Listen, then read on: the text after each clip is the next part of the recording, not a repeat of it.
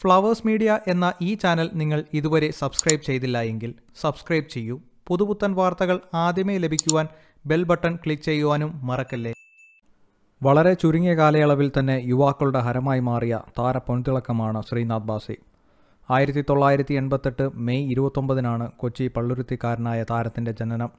അഭിനയത്തേക്കാൾ സംഗീതത്തോടായിരുന്നു താരത്തിന്റെ പ്രേമം. ലോകം മുഴുവൻ തന്റെ സംഗീതവുമായി കറങ്ങി നടക്കണമെന്നായിരുന്നു താരത്തിന്റെ സ്വപ്നം.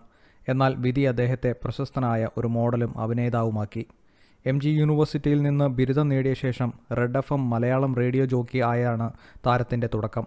അതിനു പിന്നാലെ കിരൺ ടി വിയിൽ വീഡിയോ ജോക്കിയായും താരം പ്രത്യക്ഷപ്പെട്ടു. ഇതിനോടെല്ലാം എപ്പം ക്രൈംസൺ വുഡ് എന്ന തന്റെ കോളേജ് ബാൻഡിലൂടെ സംഗീതത്തെയും താരം ചേർത്ത് പിടിച്ചു. ഈ സമയം കൊണ്ട് താരം ഒരുപാട് സിനിമകളിൽ ശ്രദ്ധേയമായ വേഷങ്ങൾ ചെയ്തു കഴിഞ്ഞു. ബിവെയർ ഓഫ് ഡോഗ് എന്ന മലയാള സിനിമയിൽ പ്രധാന വേഷം ചെയ്തതാണ് താരം സംവിധായകരുടെ മനസ്സിൽ ഇടം നേടിയത്. ഇതിനെല്ലാം പുറമെ താരം ഇന്ന് ഒരു ചലച്ചിത്ര പിന്നണി ഗായകൻ കൂടിയാണ്. Idukki gold north twenty four കാതം എന്നീ ചിത്രങ്ങളാണ് അദ്ദേഹം പാടിയത്.